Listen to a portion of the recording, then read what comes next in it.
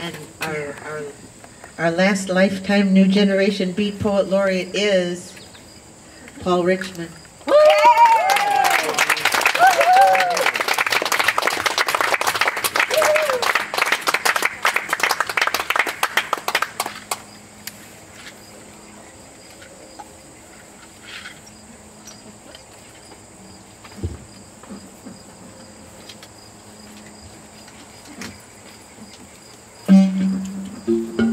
We're gonna do a little sound check here. Can you hear me okay? Yeah. And you can hear him okay? This is Tony Vaca, by the way. Yes, give it up for Tony Vaca.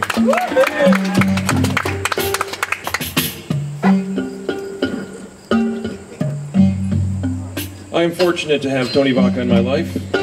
I am fortunate to have all of you in my life.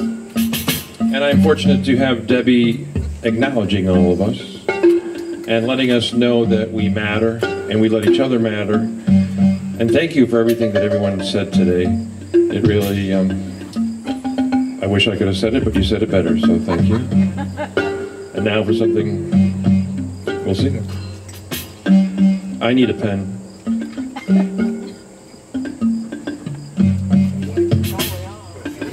Literally? I need a pen. No, that's part of the poem. I just wanted to see who had a pen for later. Because I need a pen, but I thought, okay, no, I don't need a pen. So I went to the bank. I don't have any money to put into the bank.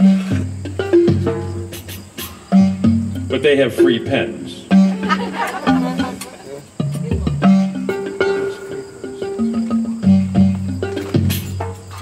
After a while, they noticed that when I come in, the pens need to be restocked.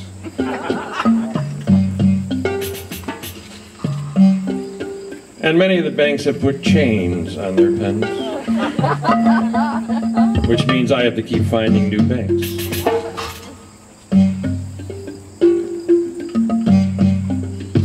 I suppose it would be a lot easier if I just didn't lose the pens.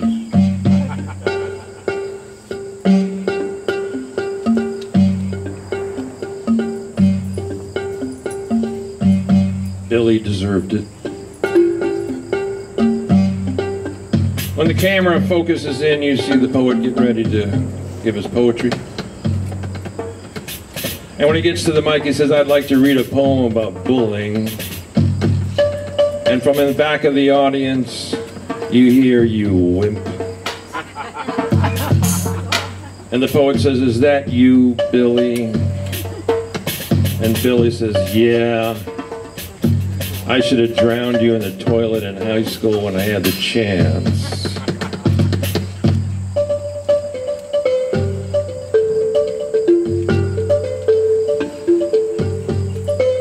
Poet said, Billy, could you could you step out into the light so I can see? I, I almost don't believe that it's really you.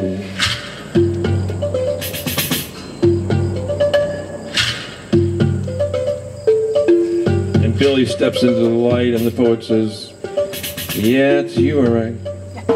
You still got that same smirk on your face. And the poet pulled out a gun and shot Billy several times. And the waitress ran up and said, What the hell is going on? And the poet said, This is Billy from Dead End High School, and I shot him. And she takes away the gun and she said, Really? This is Billy from the Dead End High School? He says, Yeah. And she takes it and she shoots him a couple of times. And then the manager of the whole uh, place comes up and he's yelling at everybody, What the hell is going on? What are you doing? Who's this laying here on the ground? And she said, I shot Billy from Dead End High School. He said, That's Billy from the Dead End High School? And he shoots him a couple of times. And then the police arrive.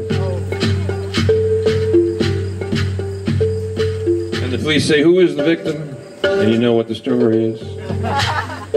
And they shoot him a couple of times.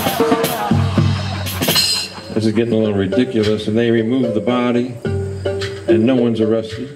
And the poet suddenly seems relieved that he doesn't have to read the poem about being bullied. And so he says, okay, I'm going to start talking about how lonely I am, and just this is a really poem because I'm just really lonely. And suddenly the waitress, you want to be lonely? I tried to love you and you pushed me away. Poet said, okay, I think I'll read a different poem. I'm to read a poem about dealing with your shit in public.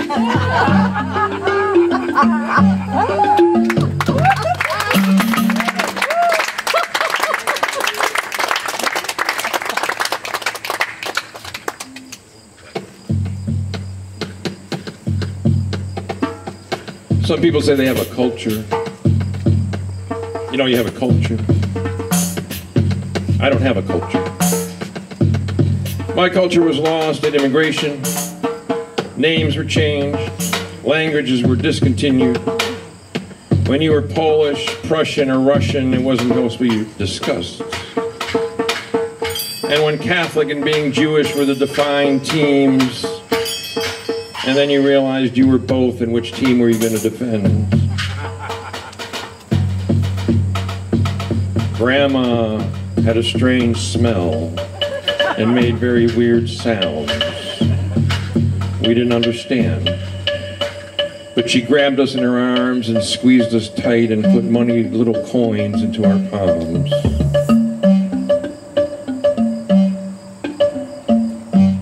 There's nothing before now. There is no history to learn from.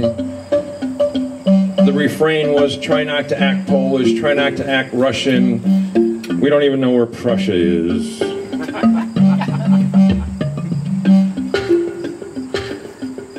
and lose the accent. Just lose the accent.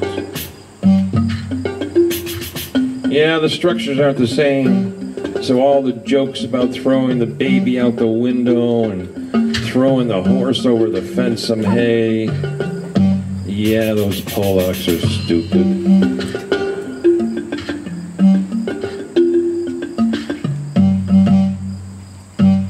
Polish people arrive, my mother meets them at their house and starts to tell them, you gotta take off all those colorful clothes. You just look too Polish. You gotta look American. You gotta maybe shop at J.C. Penney's. You gotta look like look in Life magazine.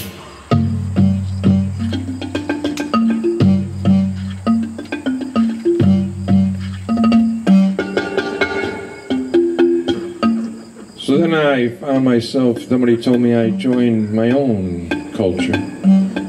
It was called the counterculture.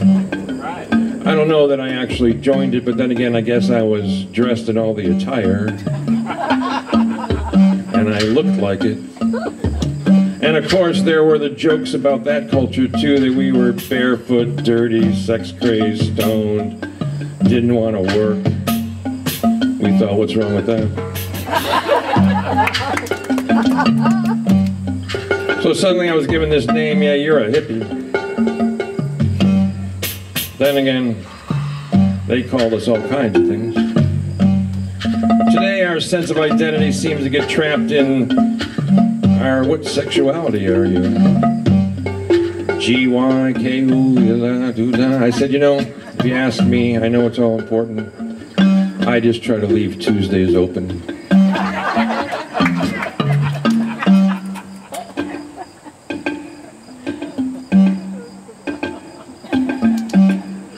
And now the question is, is do you have a social media presence? Are you somebody because people see you and like your stuff? And why doesn't Betty Lou give me any hearts? And anytime I try anything else, people always say to me, oh, you're appropriating that culture.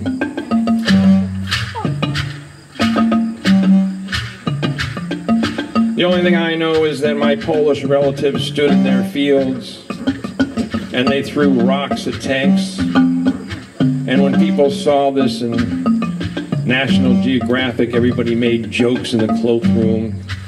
Why would the Poles stand there throwing rocks at tanks? It's because the only thing they had, and they were going down, they weren't going down without a fight.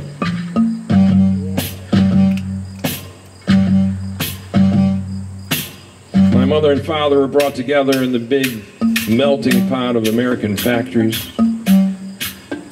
where suddenly being Jewish, being Catholic, being Polish, being Russian seemed to not matter in the dream of having a house and kids. And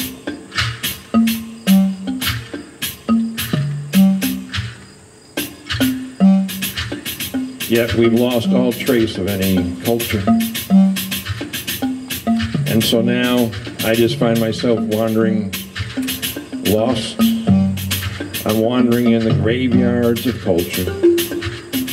I'm standing on all the cultures, the graveyards of cultures. I wander lost.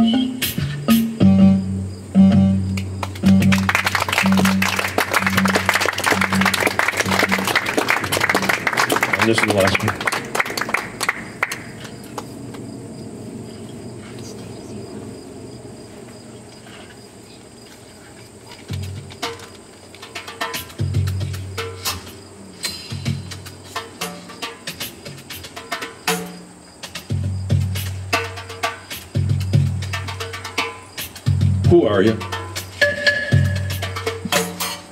Well, I mean, just a simple question. You know, you can answer it in many ways. You can give your name. You can say I'm a beat poet laureate. I mean, I don't know. You can say all kinds of things. But who are you?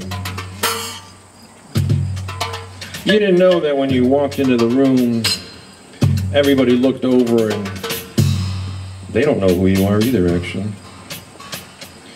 And that shouldn't bother you because since you don't know who you are, how is anybody else supposed to know? And you don't even know, you know, it's hard to tell. You keep wondering, who am I? And but maybe all you, you know, you were you were called to this calling. You thought, I know who I am. That's who I'm going to create. And then you graded yourself on did you create that persona that you thought was the real you? But then there had this time when you were sitting in a restaurant and suddenly the little girl sitting on the table next to you turns and looks you straight in the eye and says, You don't know who you are, do you?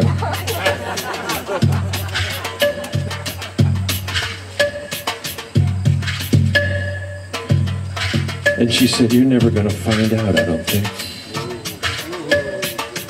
And she turns back to her mother, who's trying to explain the universe.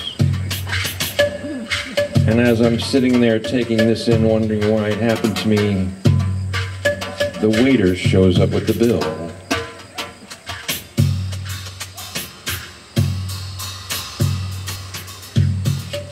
And I suddenly realize, I guess I've done a good job of selling this person because I can pay the bill. In fact, I can even leave a tip.